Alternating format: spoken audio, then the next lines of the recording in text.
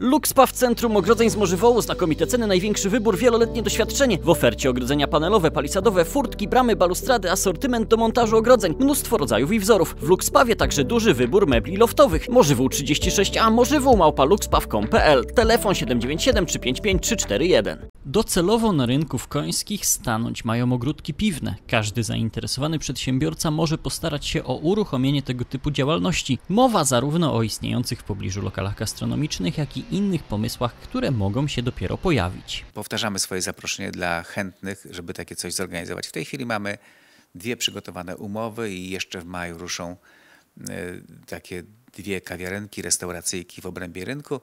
E, Mam nadzieję, że na tym nie skończymy. Będzie to fajne miejsce, żeby sobie przysiąść, odpocząć i, i przy e, kawie, herbacie lub w chłodnym napoju spędzić trochę czasu. A kto może taki punkt otworzyć? Z wzorem wielu miast liczymy na to, że właściciele lokali em, gastronomicznych y, zlokalizowanych przy rynku albo takich, które mogą być zlokalizowane, bo przecież e, są tam takie lokale, które łatwo przebranżowić, znajdą się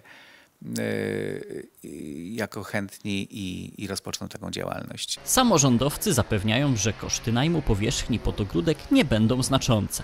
To zależy od y, długości trwania umowy i od wielkości, ale one są naprawdę nieznaczące w stosunku do, do powiedzmy normalnych y, umów y, czynszu dzierżawy y, w, na przykład na Targowicy Miejskiej czy w innych rejonach miasta. Zainteresowani powinni szukać odpowiedniego ogłoszenia na stronie Biuletynu Informacji Publicznej Urzędu Miasta i Gminy Końskie lub kontaktować się bezpośrednio z UMIK.